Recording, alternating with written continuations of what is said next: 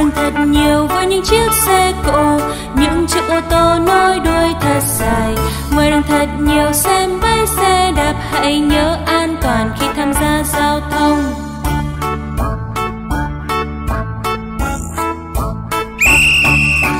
Nào mình cẩn thận nhìn khi bước sang đường. Hãy nhớ luôn đi phía bên tay phải.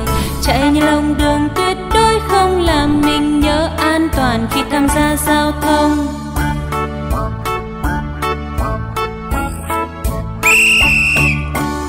Kìa đèn đỏ bé nhớ nhớ mau dừng bốn, ba, hai, một, đèn xanh sáng rồi.